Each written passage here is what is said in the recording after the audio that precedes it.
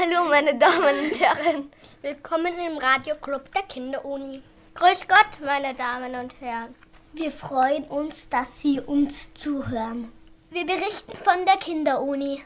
Hier sprechen die Kinderreporterinnen und Reporter Miriam, Clara, Pauli, Florian, Lukas, Tobias, Luis, Dalila und Hannah.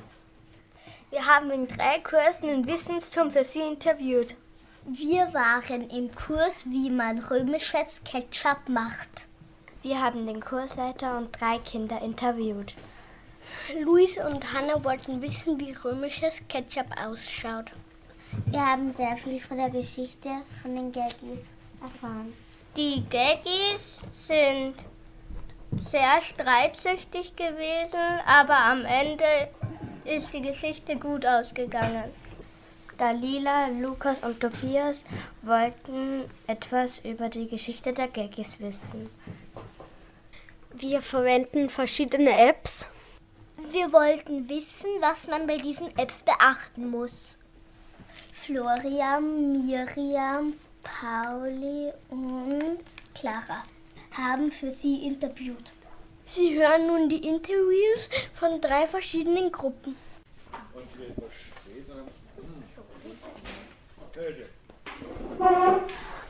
Wir sind beim Wissensturm in der Küche.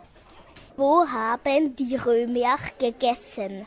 Gegessen haben sie im Triclinium, im Drei-Liegen-Raum.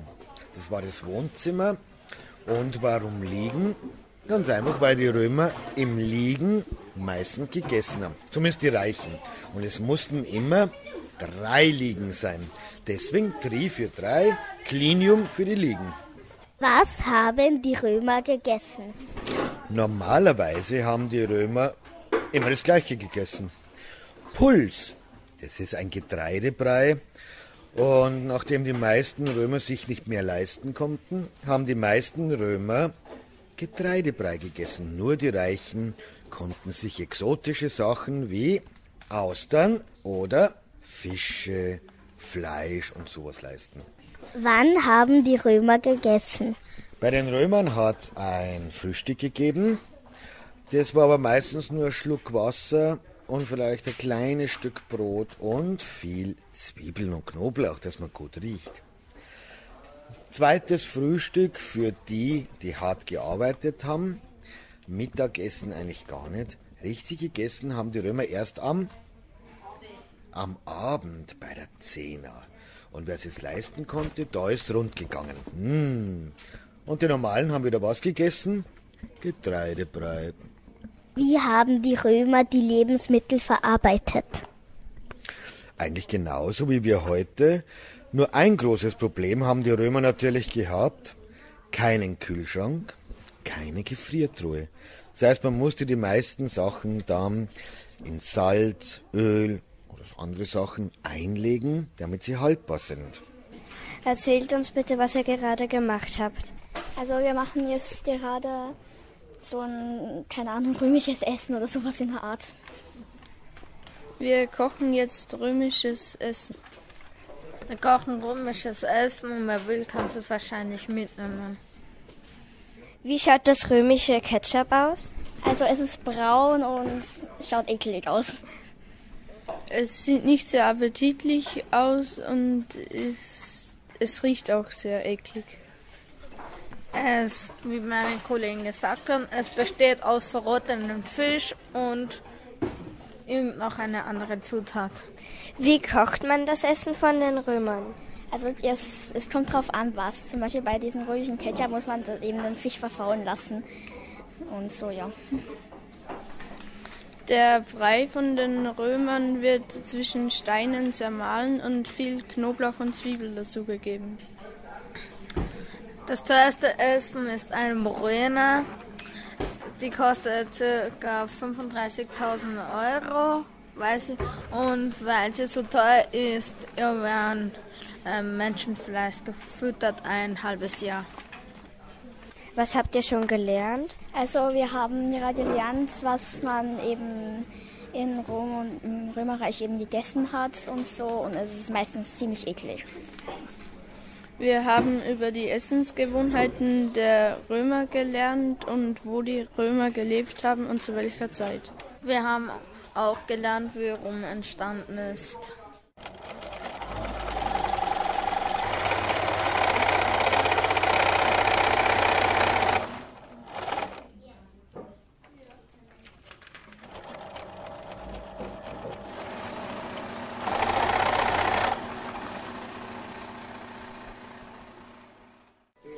Wir sehen hier viele Nähmaschinen und viele Kinder. Mm. Die Kinder sitzen gerade herum und hören auf die Musik. Und alle Kinder sind konzentriert bei der Arbeit. Warum gerade diese Geschichte von den Gaggis?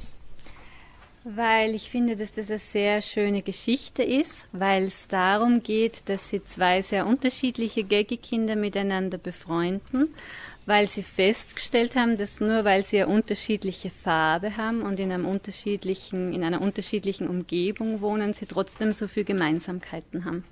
Warum baut ihr diese Figuren? Weil wir uns gedacht haben, dass das eine sehr schöne Idee ist, wenn wir zuerst die Geschichte mit den Kindern hören und erzählen und im Anschluss uns die Zeit nehmen, äh, während wir die Musik hören, die Gaggis zu nähen. Und jedes Kind kann sich dann ein Gaggy-Tier mit nach Hause nehmen.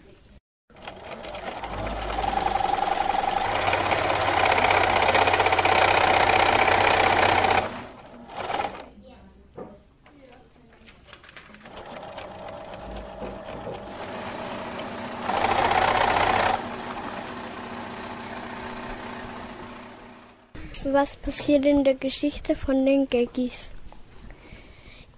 Der grüne Gecki, die, die konnten nicht klettern, nur schwimmen und der orange Gecki konnte nicht schwimmen nur, und nur klettern.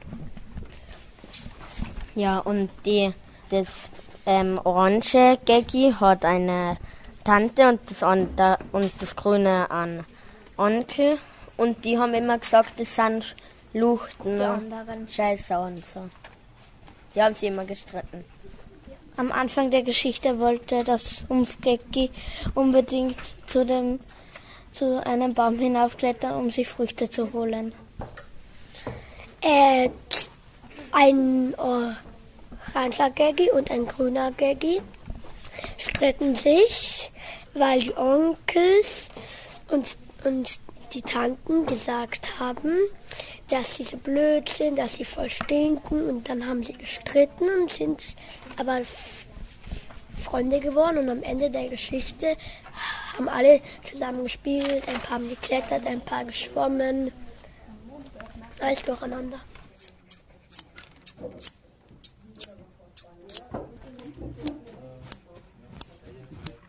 Warum verlaufen sich die Gegis? Weil das Felsgecki einen Gang gefunden hat und da will es du und weil das Sumpf und, und weil, weil, das, das andere Gecki weil das Sumpfgecki so neugierig ist. Danke. Jetzt stellst du das hinten und drückst du fest. Drück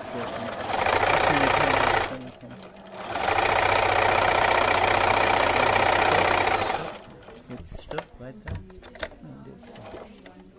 So, und dann wieder.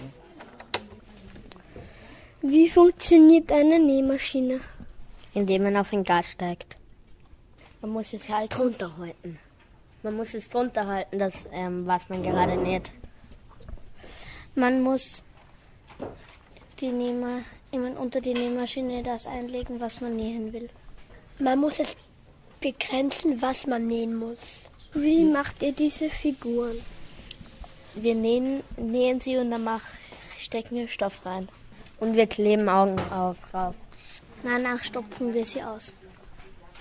Äh, wir machen noch Frisuren dazu.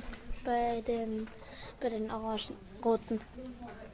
Und wir schneiden am Anfang den Stoff aus.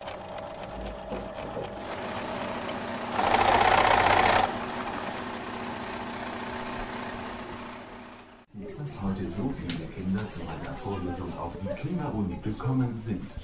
Ich bin Experte für WhatsApp, Instagram, Snapchat und Co. Heute werden wir gemeinsam die Welt der sozialen Netzwerke erforschen. Ist ja für Kinder, die sitzen am Computer und machen was. Die Kinder aus dieser Gruppe arbeiten am Computer. In diesem Raum sitzen viele Kinder vom Computer. Die Stimmung hier herinnen ist unterschiedlich bei den Kindern. Was muss man beachten, wenn man bei WhatsApp schreibt? Also man muss beachten, dass man nicht irgendwas schreibt, was sehr privat ist und um den Gruppen dann schreibt. Man darf keine wieder verschicken von Personen, ohne dass man es davor gefragt hat.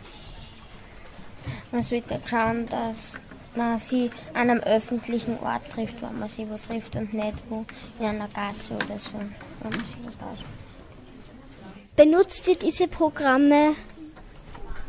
Also ich benutze WhatsApp und Musical.ly, aber sonst Instagram, Snapchat und Facebook, Twitter nicht. Ich benutze Instagram, WhatsApp, Snapchat, Musical.ly, YouTube und ein paar Online-Spiele dann noch. Ich benutze nur WhatsApp. Was habt ihr heute gelernt?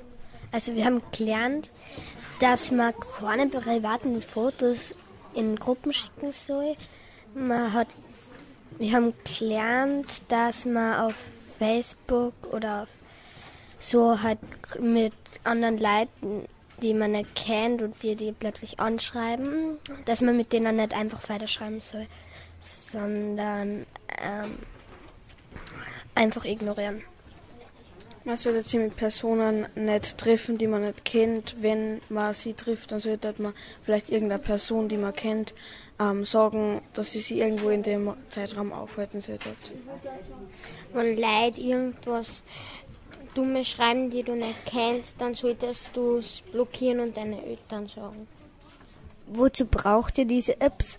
Also, dass ich mit meinen Freundinnen kommunizieren kann und dass man sie halt hauptsächlich unterhalten kann und dass man sie zum Beispiel auch wenn man im Urlaub ist, dass man dann trotzdem seine Freunde irgendwie weiß, wie es ihnen geht und so.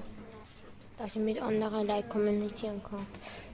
Ab wann darf man Instagram benutzen? Ja, derzeit ist es so, dass Instagram eigentlich ab 13 erlaubt ist, genauso wie Facebook, weil Instagram ja auch zur Firma Facebook gehört. Aber es könnte sein, dass bald, weil wir ja neue Datenschutzgesetze haben, dass Instagram auch ab 16 sein könnte. Oder eben nur mit Zustimmung der Eltern. Bei WhatsApp ist es zum Beispiel schon so. Müsste eigentlich 16 sein. Obwohl es viele Jüngere verwenden. Hatten Sie schon einmal Probleme mit einem Programm? Auch ständig. Das ist aber ganz normal bei PCs, dass einmal was nicht funktioniert. Aber wirkliche Probleme, ich sage immer, äh, man kann diese ganzen Apps benutzen, man ist halt dann auch in der Öffentlichkeit unterwegs, wenn man äh, im Netzwerk unterwegs ist. Aber da ist halt dann oft das Problem, wenn man nicht weiß, wie man sich verhält, dann bringt man sich vielleicht in Gefahr. Wie beim, wenn man eine Straße überquert, sage ich da immer. Wenn ich nicht weiß, wie ich die Straße überquert, dann wird mich vielleicht einmal ein Auto erwischen. Aber wenn ich Bescheid weiß, wie das geht, dann ist das ganz sicher. Wie sollte man diese Apps nutzen? Ja, also wir schauen uns ja verschiedenste Apps an, wo man in Kontakt tritt mit anderen Personen. Äh, und da ist es wichtig zu wissen, dass alles, was offline nicht erlaubt ist, ist auch online nicht erlaubt. Zum Beispiel Bilder teilen, die in den privaten Bereich gehören oder jemanden verletzen könnten, darf man auch in einer WhatsApp-Gruppe nicht teilen. Und natürlich, wie viel Zeit das man dort verbringt im Internet, das könnte man natürlich auch kontrollieren. Wozu braucht man diese Apps? Also die Apps sind sehr praktisch, um in Kontakt zu treten. Es gibt eigentlich für alles eine App. Ähm, Instagram kann man Fotos teilen oder was man sich, was man gerade macht. Im Prinzip sind es Unterhaltungs-Apps, aber nicht immer. Es gibt auch welche zum Spielen, wo man wieder Online-Spieler macht. Fortnite ist zum Beispiel jetzt der große Renner, gell? Äh, oder Minecraft gehört da auch dazu. Aber es gibt zum Beispiel auch Apps, wo man sich austauscht über Bücher oder selbst Bücher schreiben kann. Wie macht man ein sicheres Passwort? Oh, ein sicheres Passwort braucht sehr viele Zeichen, sagen wir mal um die zwölf Zeichen fast mittlerweile. Früher hat man gesagt acht Zeichen. Groß, Klein, Buchstaben, Sonderzeichen und es sollte auf keinen Fall irgendwas Persönliches im Passwort vorkommen, zum Beispiel Name, Geburtsdatum, Haustier. Diese Sachen kehren eigentlich nicht ins Passwort, weil die hat man sehr schnell geknackt. Warum ist es so wichtig, seine privaten Dinge zu schützen? Weil äh, man nicht will, dass, die, die, dass jemand, der vielleicht es nicht so gut meint mit einem, zu seinen privaten Sachen kommt, weil ich brauche meine Privatsphäre. Das wird immer schwieriger, die Privatsphäre zu schützen. Man geht ja auch nicht in der Straßenbahn hin und zeigt irgendeinem Nach Straßenbahn Nachbarn irgendwie die privaten Fotos. Das tut man ja auch nicht. Und äh, natürlich, wenn man an Bankkonten denkt und so weiter, oder dass wenn jemand sauer ist auf mich oder einfach was Böses anstellen möchte und dann zu meine, meinen Daten kommt, das kann natürlich auch schlechte Folgen haben für mich. Wir haben gelernt, wie man interviewt. Wir haben ein paar Fachbegriffe kennengelernt. Die Atmosphäre, die Hintergrundgeräusche. Die Moderation ist das, was wir gerade machen. Interviews ist das, was wir mit den verschiedenen Kursen gemacht haben. Wir haben gelernt, wie eine Nähmaschine funktioniert. Wir haben gelernt, dass manche Apps sowie Instagram erst ab 13 Jahren sind. Wahrscheinlich sind sie bald ab 16 Jahren.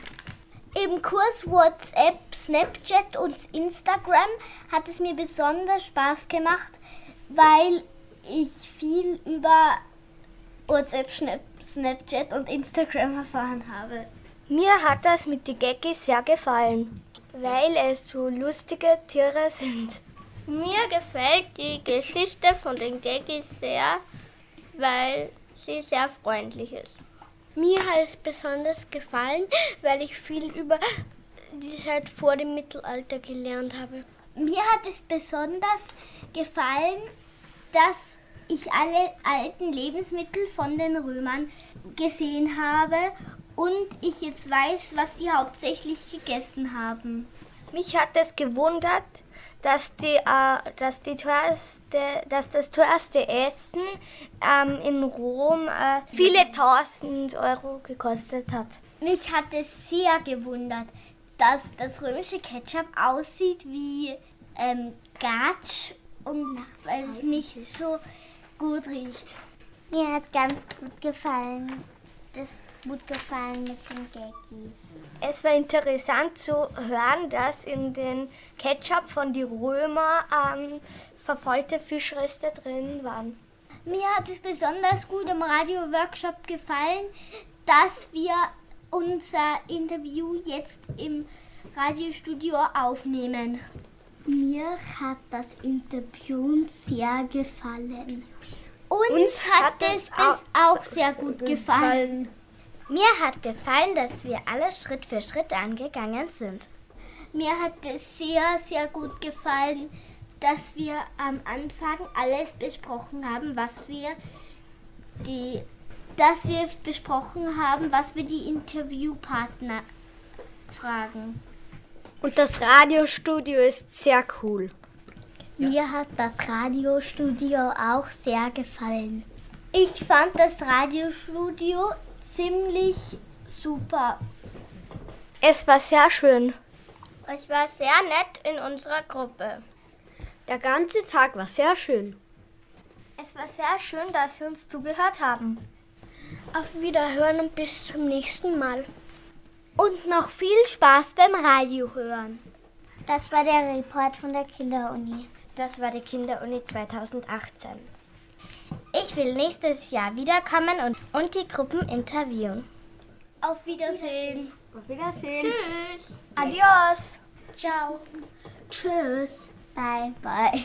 Bis zum nächsten Mal. War schön mit euch. Noch viel Spaß. Tschüss. Ganz Ciao.